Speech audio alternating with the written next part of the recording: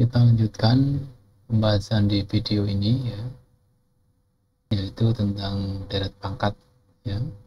Setelah anda belajar mengenai deret taingga ya sekarang kita lanjutkan ke konsep deret pangkat ini ya. Jadi di video sebelumnya sudah kita bahas mengenai deret di mana anggota-anggotanya bilangan yang non negatif ya. Nah kita ini adalah kelanjutan dari topik itu ya.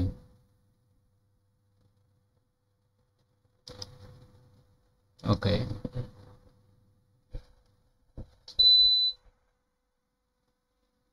Di sini ya kita akan menerapkan konsep kekonvergenan ya.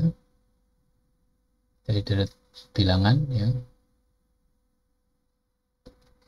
Yang nanti kita terapkan pada deret yang memuat variabel atau yang kita sebut sebagai deret angkat atau power series ya. berikut definisinya ya. Jadi kalau sebelumnya kita belajar deret tak hingga itu hanya bilangan ya. Kemudian kita beranjak ke bilangan non negatif atau positif sekarang kita punya deret pangkat. Dia nanti juga positif atau non negatif karena berisi suku-sukunya berupa perpangkatan dari variabel. Ya. Jadi ini. Jadi pada pangkat di sekitar x sama dengan 0 terbentuk ini. an x pen an kali x pangkat n ya. Dari 0 sampai tak hingga. Yang kita rinci, kita, kita, rinci menjadi a0 tambah A1X tambah A2X kuadrat tambah terusnya sampai ANX dan seterusnya. Ya. Nah selanjutnya deret pangkat di sekitar X sama dengan X0 berbentuk seperti ini. Sigma dari N tak hingga AN kali X min X0 pangkat N atau tulis A0 tambah A1 x min x 0 a2 x min x 0 kuadrat sampai an x min x 0 pangkat n dan seterusnya. X 0 itu disebut pusat dari deret ini dan a1 a0 a1 itu merupakan konstanta ya.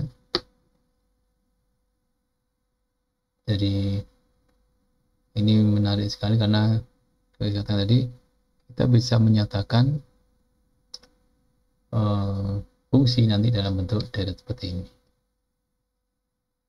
Karena dia mem mem memuat variabel ya. Ya kenapa kita sekarang kok ribut dengan sibuk dengan ekspresi bentuk deret ini ya? Nanti kita coba ilustrasikan seperti ini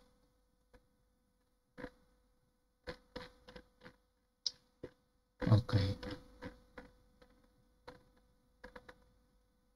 Jadi kalau kita contoh ya. Kalau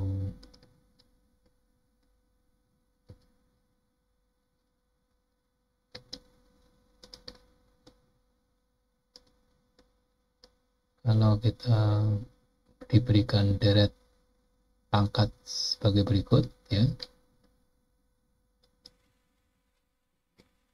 ini hanya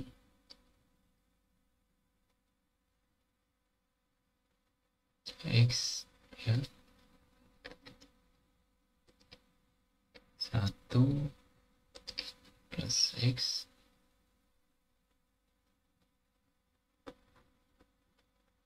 X kuadrat plus x pangkat 3 plus dan seterusnya gitu kan x pangkat n ya dan seterusnya. Nah anda tahu ini deret apa? Deret geometri kan? Ya dengan rasionya adalah x. Suku pertama adalah satu. Ya. kalau x nya kurang dari satu maka kita punya ini sama dengan apa? 1 per 1 min X kan?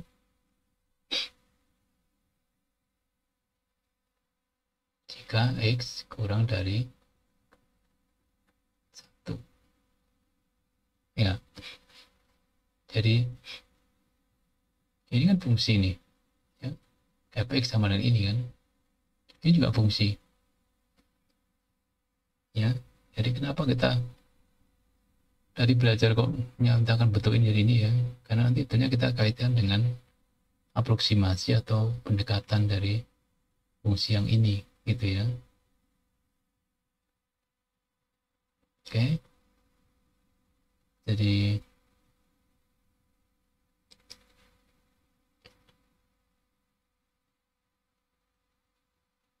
sini kita juga tahu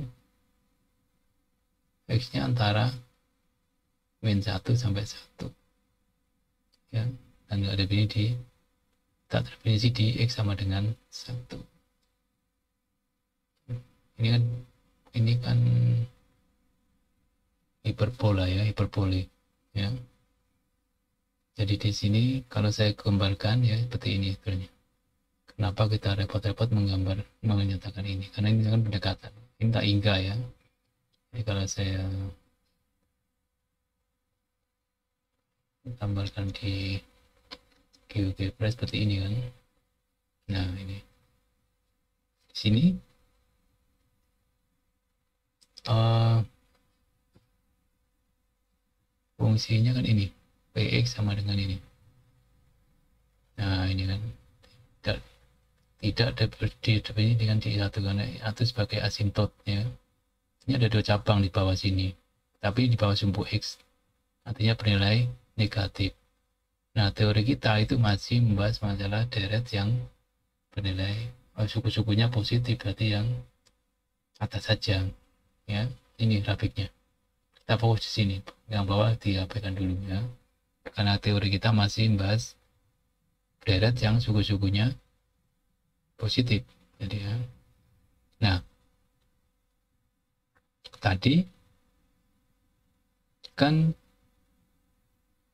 ini sama dengan deret 1 tambah x kuadrat tambah, tambah x ya ini yang di bawah ini x kuadrat 3 dan seterusnya ya nah apa kaitannya dengan ini gitu loh samanya di mana gitu loh. nah kalau saya gambarkan ini misalnya P yang ini grafik yang biru ini ya Bagaimana dengan S ini? Ada empat suku, satu tambah X tambah X kuadrat tambah X pangkat 3. Nah, yang hijau ini. Ya. Yang hijau ini ada bagian yang tepat nempel di yang biru itu. Ya enggak? Tapi enggak banyak. Cuma segini saja. Sekitar satu. Ya. Oke. Nah, bagaimana kalau saya perbanyak sukunya? Ini ada berapa sukunya ini? 8 ya, 8 suku. Oke. Begitu ini. Bandingkan dengan ini tadi. Nah, gini. Yang ungu, nah yang ungu banyak yang menempel ini sini ya. kalau hijau cuma sini saja kan kalau ungu dari sini sampai sini masih nempel. Artinya apa? Semakin banyak apa? Suku yang kita masukkan dalam persamaan itu maka grafik yang diperoleh akan semakin banyak yang berimpit dengan yang grafik biru itu biru itu yang yang ini ya itulah posisi dari uh, deret tadi itu ya. Karena kita nggak mungkin nggak menuliskan semua sukunya. Tapi sesuai kebutuhan kita misalnya kita mau fokus di sekitar satu interval gitu aja ya maka kita kita butuh berapa suku supaya di panjang interval itu grafiknya berimpit dengan yang biru ini. Kita nambah suku-sukunya tambah terus. Nah itu salah satu uh, kegunaan jadi teman-teman di numerik nanti ya. Kita sering kali matematika itu analitiknya susah. Maka dengan bantuan numerik dengan pendekatan seperti ini ya. Tapi kita masih bahas di oh, analitiknya dulu ya numeriknya nanti aja. Oke. Okay. ya itu maksudnya ya idenya seperti itu.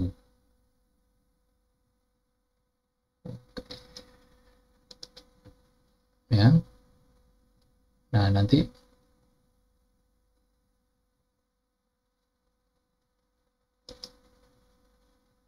ini teoremanya ya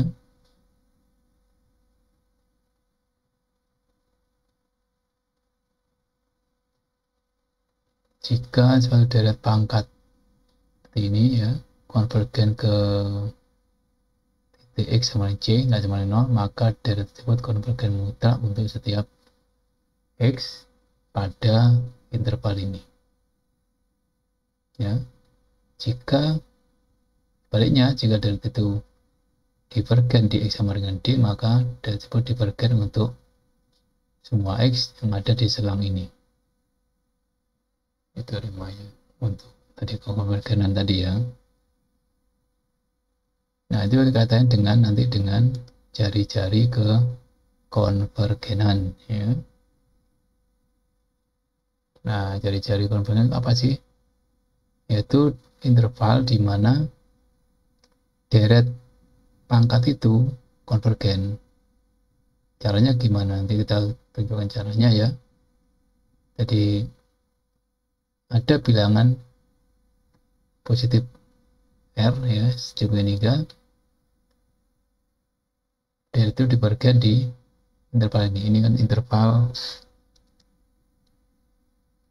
ini ya. Itu kan intervalnya kan begini. X min X0 lebih besar R atau X min min x0 ya. Kurang dari min r. Gitu ya. Gitu. Ini kan. Nah banyak konvergen di sini. Ini kan ini x min x0 kurang dari r. Ini. Itu ya ini maxim 0 ini ya. Kurang dari ya kurang dari x, x min x 0 ini ya.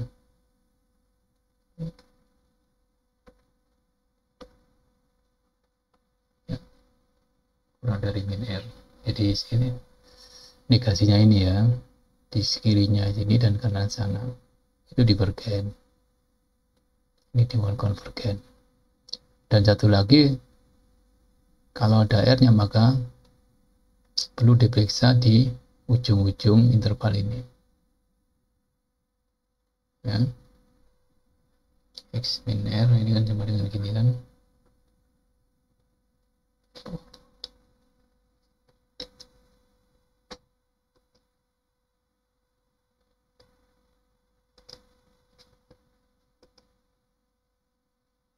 Ini kan ini kan sama aja dengan x kurang dari x0 per r kurang dari x0 min r. Yang perlu diperiksa adalah di sini dan situ. Ya tinggal menurut satu aja. Kemungkinan kedua adalah konvergen mutlak untuk semua air artinya jari-jarinya tak hingga ketiga konvergen hanya di satu titik ini. Titik kan punya jari-jari ya di R-nya sama dengan 0 gitu. Itu tiga kemungkinan. Um, ketiga. Tiga kemungkinan untuk menyimpulkan ke konvergenan deret pangkat. Nah, ujinya bagaimana? Ya, bisa menggunakan uji rasio. Ingat uji rasio itu adalah